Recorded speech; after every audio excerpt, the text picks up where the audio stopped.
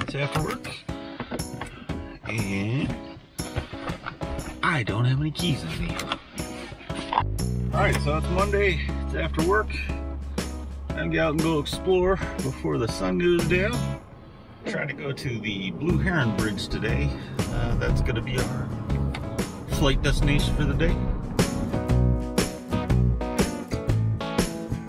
Kind of cool to fly around those buildings, but I don't think that's happening film.